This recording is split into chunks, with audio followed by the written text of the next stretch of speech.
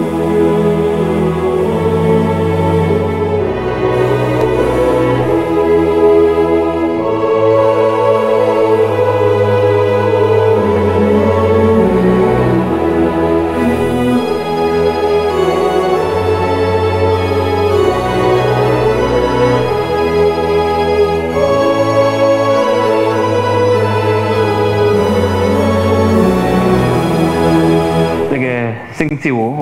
一些图，耶稣融进耶路撒冷，这里大概是那个三元三元呃祈祷堂，现在我们去三三元祈祷堂在这里，耶稣融进耶路撒冷，以后，呃他在这边祈祷，祈祷完了以后，他走的路线应该是科德隆谷，从这边过去以后呢上去，到这里有一个大世界的家。大世界之家现在叫做吉敏堂，在这里。以后耶稣在这里，呃，坐牢一个晚上。等下我们会看到，坐牢，晚上在这边受审判，受犹太领袖的审判。一大早礼拜五的时候，一大早六点钟把耶稣带走到这里，这里是黑罗的。的城堡，比拉多他从呃凯撒利亚的那个海边的马里蒂马上耶路撒冷的时候，他的士兵们在这里，在这里他们会每三小时上来看圣殿，这个叫做安东尼亚堡，安东尼亚堡在这里，他们从这边上看下面的有没有暴动，如果有什么暴动，他们可以派兵下去。那，呃，比拉多他上耶路撒冷的时候，他住这里是黑罗德的城堡，所以呢，耶稣应该是在这里受审判，受审判了以后呢，从这里走过去，这里就是现在的圣墓，就是哥尔哥达，在这里。我们看这里的这个的墙壁城墙是后来加的，后来的。原来的城墙是在这里，所以哥尔哥的刚好就是在城墙的外面。有很多很多的基督教说，因为他们是以现在的城墙，他们说这个你们看你们所谓的圣墓，耶稣的那个哥那个哥那个哥尔哥的是在城墙里面，但是那时候这个是在城墙外面。好，耶稣三年祈祷，从上面走下来。克勒克德隆谷走下去，以后从下面走上来。刚才我们看到到了大司机的家鸡鸣堂，鸡鸣堂。那我们走过这个慧荣，你在这边，对，所以我们就走走这个上去。哎，这个是谁啊？看得在哦，anyway，我们就走过。那时候这里还是公开的，我们可以走，我们可以走。那个张老师，我们走这里，我们走过。我们二零二零零六的时候，我们走走上去。现在我们去的时候，在那边已经围起来了，不允许人进去，因为人一直在那边走，会破坏破坏这个的地方。所以我们上去，有的我们的一边走，一会儿的跪下走上去，因为这个耶稣走过的路。从上啊，这个是我们上去，这个耶稣被捕从哥斯曼的园被捕的时候，就把他拉着上去走这条路，后来就看下去的，这个是科德隆谷的下面这条路。这边这那个是。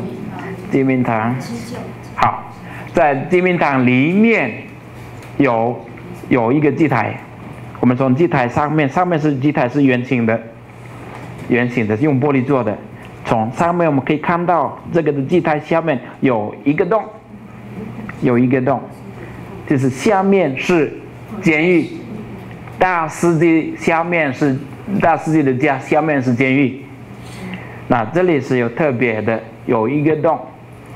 只有一个大囚犯，掉他到洞里面，他煽动人群来反对什么？反对罗马，所以这个人一定要把他放下去，免得可能半夜会被其他的人把他带走。所以耶稣那时候一个晚上坐牢在这里，从这个的洞掉下去。这个是后来挖出来的，我们走下去的时候可以看，哦，这个洞在下面，这个就是那里面的那个洞。耶稣就在下面，我们看上去的，看上去大概有三米高的，没办法爬上去，因为它是它的样子是往里、往里、往往内这样的，没办法爬上去。晚上，黑，这个里面是很暗。对不起，你们没关系，你们笑没关系。对，晚晚上里面很暗。我们想想，现在有很多很多人是坐牢，耶稣也分享过他们的经验。现在有很多很多的难民，圣家也分享过他们的经验。我们有很多很多人是受痛苦、受很很非常非常深的寂寞，耶稣分享过他们我们的寂寞。好，以后呢，从刚才的那个大司机的家来到黑罗的的城堡，刚才的黑罗的城堡。好，这个黑罗的大城堡，但是呢，现在就变成这个样子了。OK，我们继续，这里从黑罗的城堡带到哪里？格尔格达，这个是格尔格达。耶稣被钉的十字架就是在这里，在这里里面有一个洞。十二来，在旁边。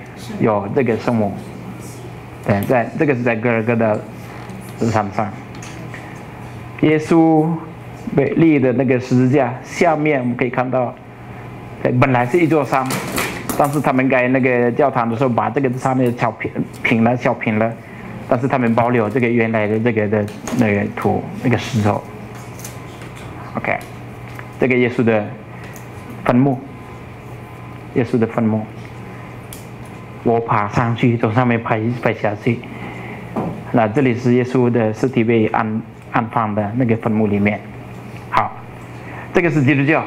基督教说，哥尔哥的应该是在这里，应该在城墙之外。但是呢，他们不知道是这个的城墙，是现在的城墙，是后来后来呃盖的。他们自己的耶稣的坟墓。啊，这个哦，anyway，我们走。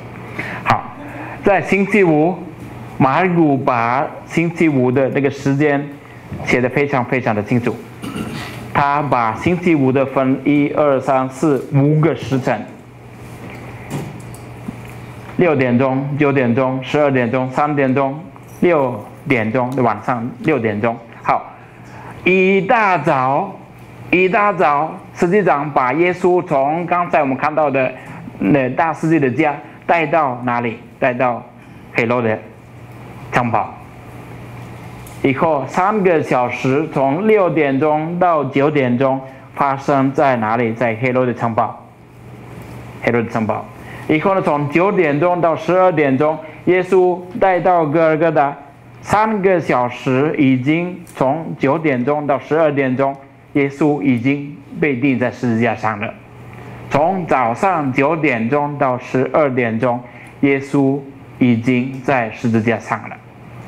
以后从十二点钟到三点钟，耶稣还是耶稣已经在十字架上。但是从那时候正中午到三点钟，一片黑暗，三个小时，三个小时一片黑暗。所以我们看到耶稣被钉在十字架上的时候，他伸手，这个怎么说？摊开被钉在十字架上的有六个小时，六个小时。三点钟到三点钟，耶稣死亡以后呢，六点钟，耶稣的尸体被安葬。就接下来以后呢，安葬。好，我们看第六六呃六点钟到九点呃九点钟所发生的什么事情？刚才天一亮，刚才我们所听到的天一亮，他们把这个带到比拉多，比拉多住哪里？是黑罗德的王宫，黑罗德王宫。那圣经里面也提到这个的王宫，就是在第十五章十六节，宫殿的院子里他在里面就提到的是宫殿的院子里，这个宫殿是什么？就只是一个王宫，嗯。所以耶稣说生饭是在哪里？现在我们现在呢？我们说要去拜窟路，我们现现在是走的是我们说这个是传统的窟路的路线，但是真正的路线，刚才我说所看到的，从格子玛的园下去到哥德哥德隆谷，上去到那个那个大世界的家，到黑罗的黑罗的下去，哎，上去到那个呃格尔各达。比拉多问耶稣：“你是犹太人的君王吗？你是犹太人的君王吗？”这个的这个的问号是好像是一个一个，就是一个侮辱耶稣的。你看，你是犹太人的农民，被鞭打的，你的你身体充满着血迹，被捆绑起来，无能为力，站在我面前。你是犹太人的国王吗？是一个一个侮辱，一个侮辱的一个一个问法。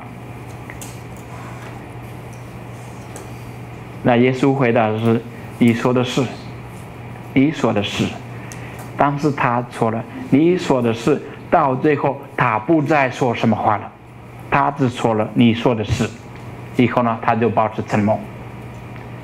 保持沉默，沉默，沉默到什么时候？到最后呢？耶稣也讲讲了一句话：他被钉在十字架上的时候，他被钉在十字架上的时候，他只讲了一句话。那这个是最后，马尔古说他呼喊以后呢，断气。他呼喊的，呼喊的，阿罗阿里阿里拉玛萨巴克塔尼，我的天主，我的天主，你为什么失去了我？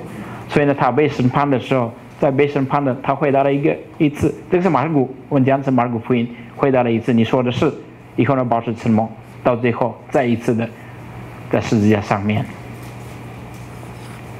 好，所以在这里他就保持这个的沉默，到最后就在十字架上面，以后，比拉多在那边。带耶稣被那个洗弄以后被鞭打了以后呢，带带耶稣带耶稣到那个群众面前，就说你们要选择是谁，巴拉巴或是耶稣？很奇怪，很奇怪，群众他们选择是什么？是谁？巴拉巴，选择是巴拉巴。但是巴拉巴是什么人？巴拉巴是一个罪犯，那这个是罪犯是非常非常的清楚，他。反对罗马，他反对罗马，应该他这个人是被处死的。但是呢，很奇怪，是他们选择是耶稣，选择是耶稣。但是耶稣也做过什么反对罗马的行为吗？的什么事情吗？也没有。但是这个是一个仇恨，你仇恨里面已经很久了，你会找任何的理由，一定要把你所仇恨的这个人要除要除掉。所以巴拉巴是暴动，在暴动的时候，巴拉巴曾经谋杀，呃，犯谋杀罪。比拉多问问他们：“你们要释放谁？”他们就要的是释放巴拉巴。所以看到这里，一个是暴力，用暴力的，就他们两个人是一样，他们是革命家，巴拉巴跟耶稣一样革命家。但是巴拉巴用的方式是什么？暴力。但是耶稣所提倡的是非暴力。当时民众选择是什么？暴力。民众选择暴力。他们选择巴拉巴拉巴的时候，这个就是选择什么方式来面对罗马。到最后，到了七年七十年代的时候，他们真的是用暴力来面对罗马。以后呢，到最后，耶路撒冷整个的圣殿。也被毁灭掉。好，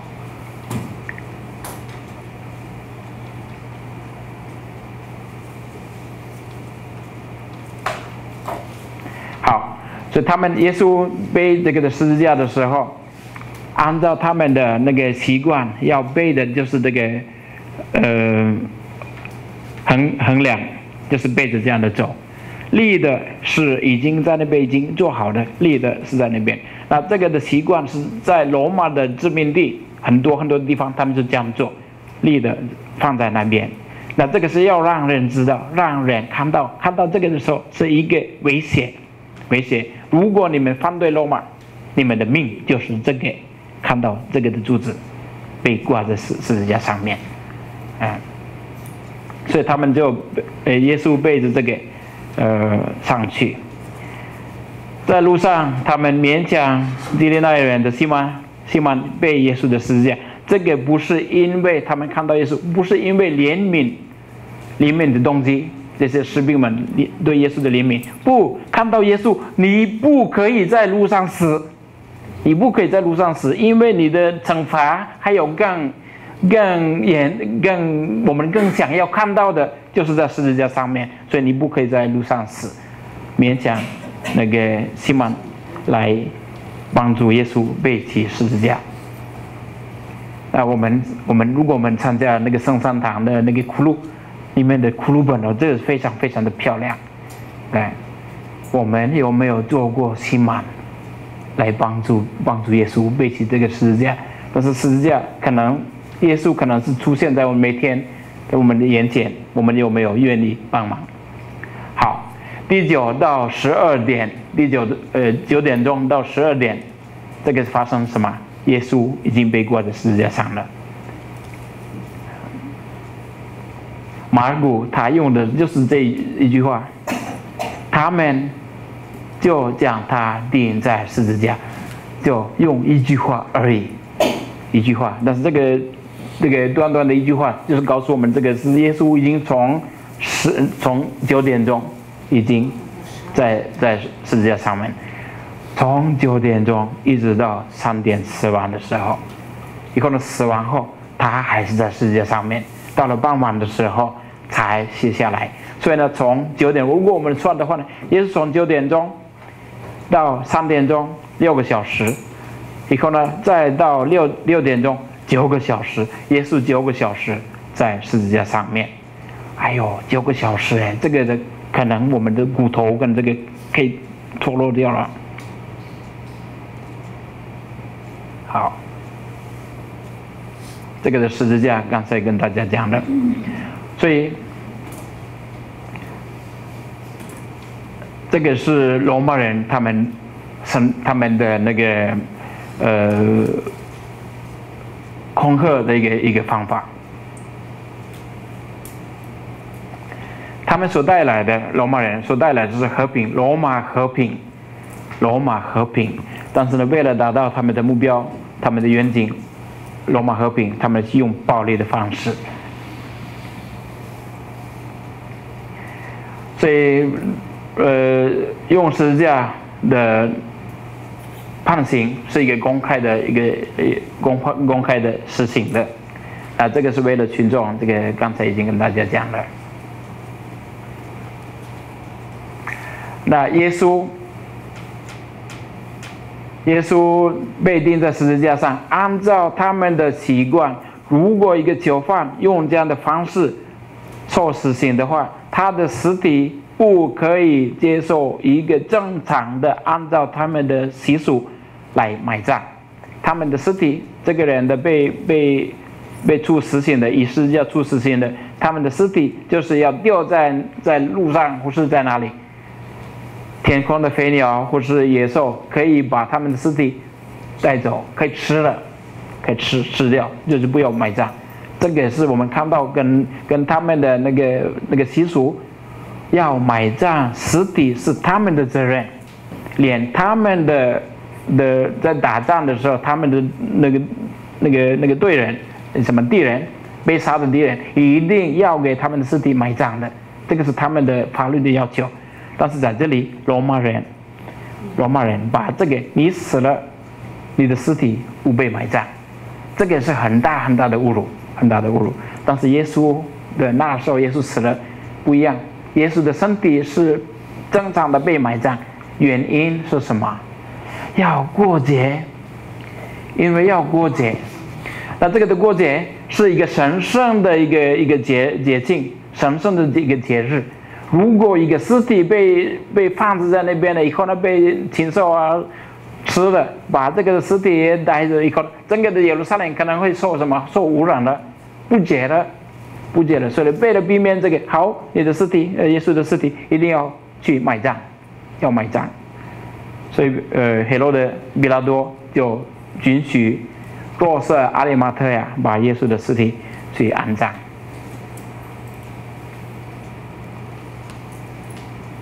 好，这个是最大的侮辱。好，我们继续。对撞牌，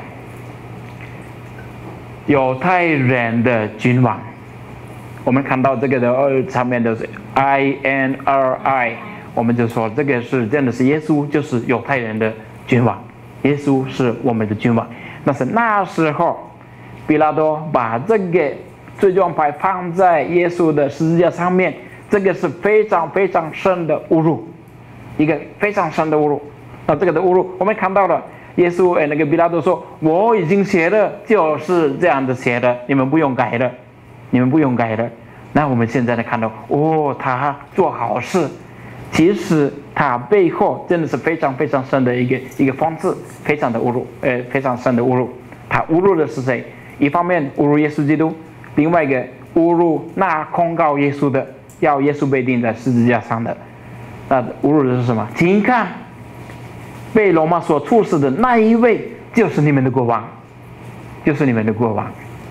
嗯，侮辱犹太人。但早期的基督徒，他们把这个的那个、那个、那个罪状牌，真的是他们所看到的耶稣真正的身份，他就是真正的天主子，真正的国王。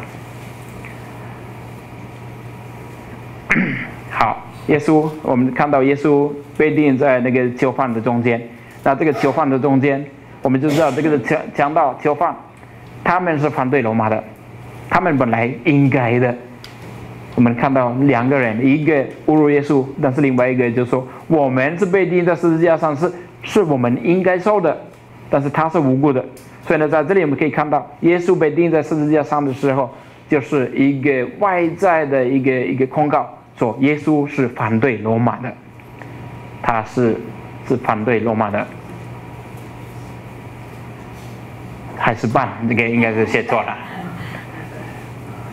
嗯，所以一般的，我们说一般的那个囚犯，不是反对罗马的囚犯，不需要被钉在十字架上，只有大囚犯是被钉在十字架上的。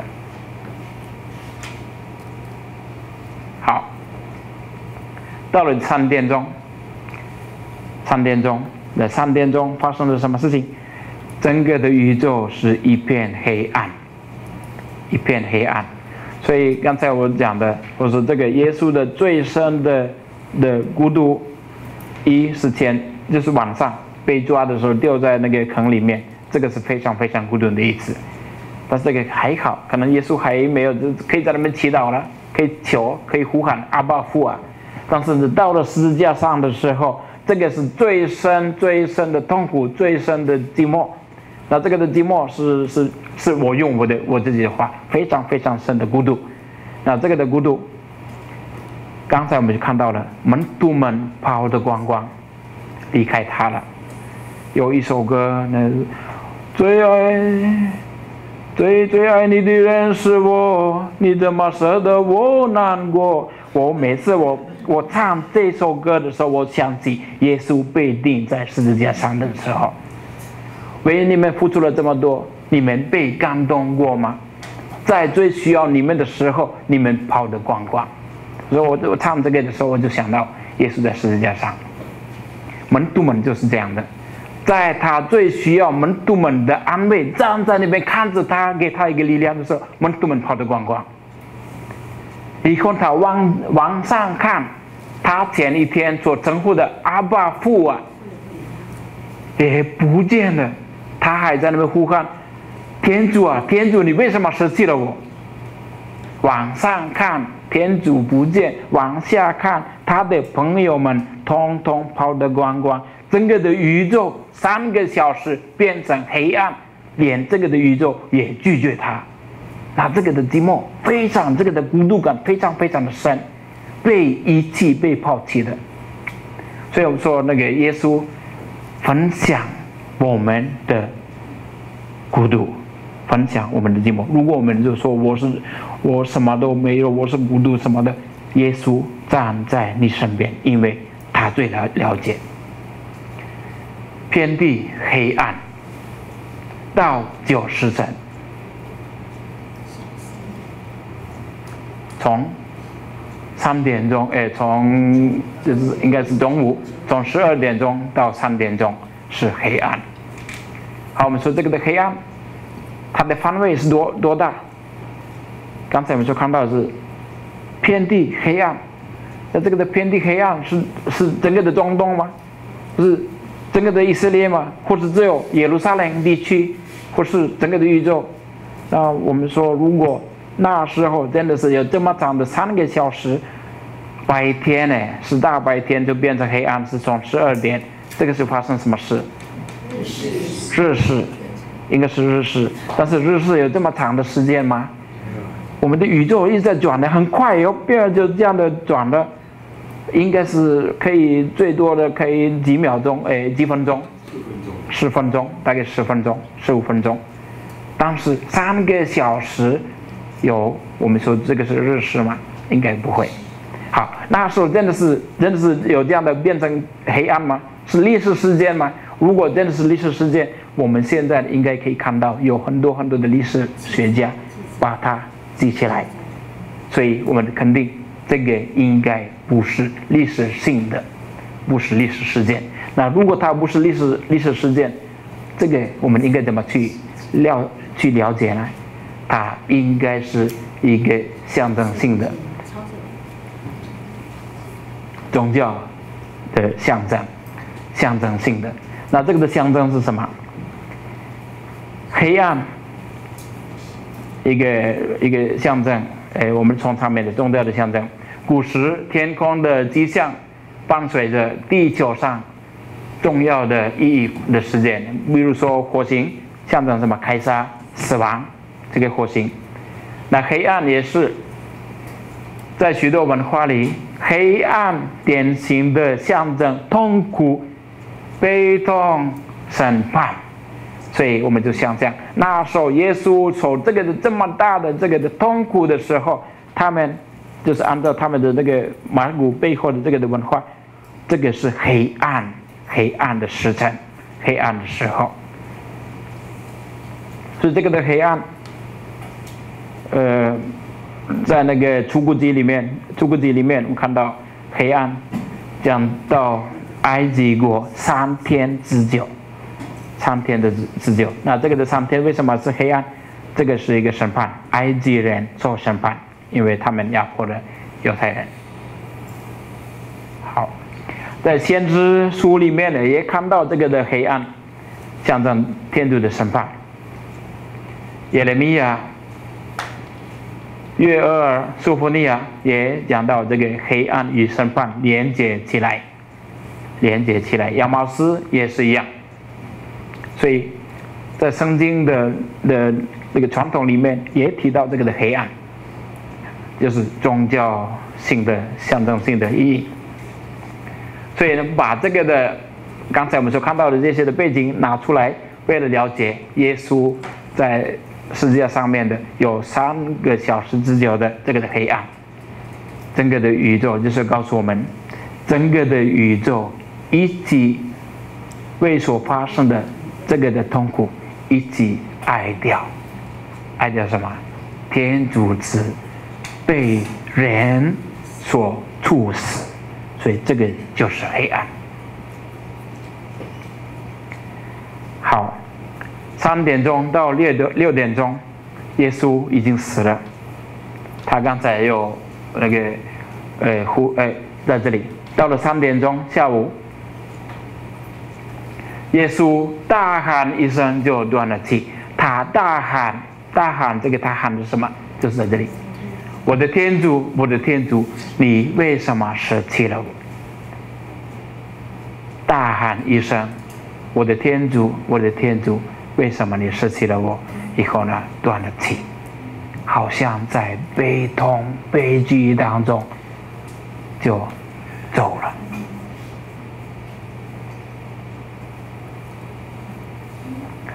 后面有两件事，耶稣死亡的那一个那时候有两件事，圣殿的帐幔撕裂，一样，这个这个圣殿的圣殿的帐幔撕裂是历史性的吗？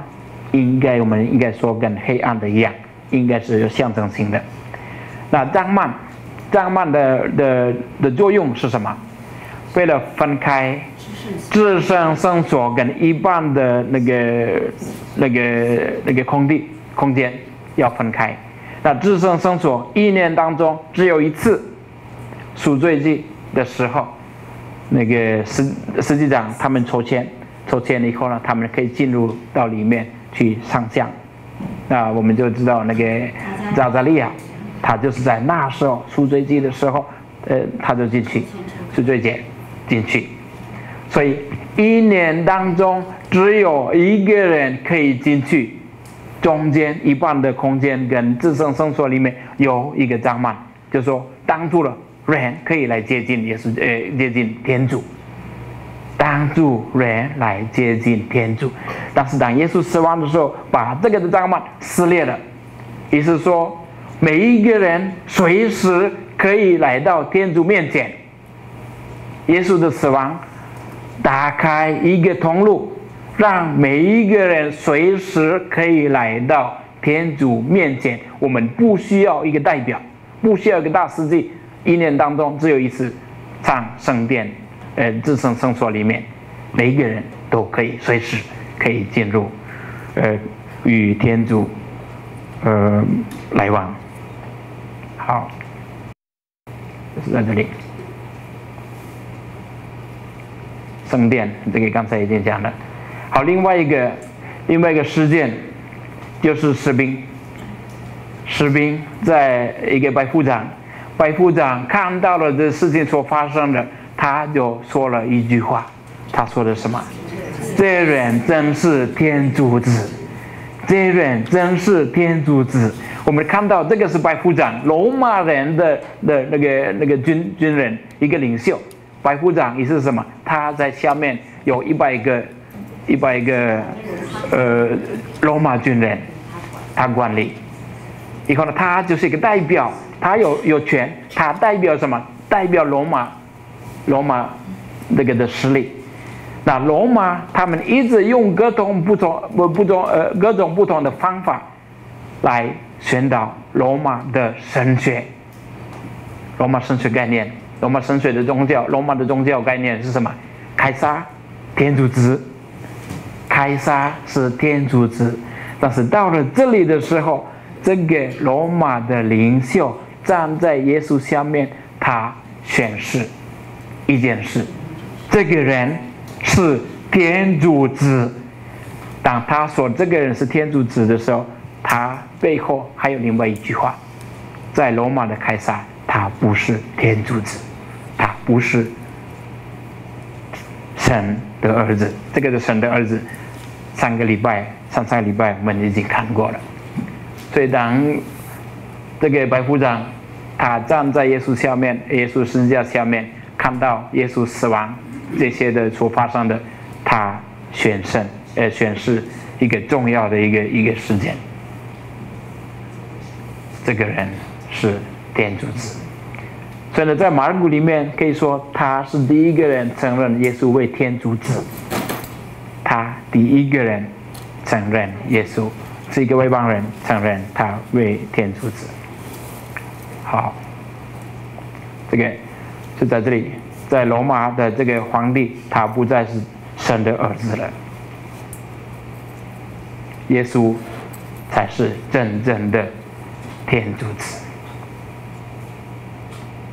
百夫长干汉中，从他说话当中，我们可以看到，罗马帝国已经自己行了一个一个一个，他们自己做见证，杀死耶稣就是他们，他们已经把天主子、天主的儿子杀了。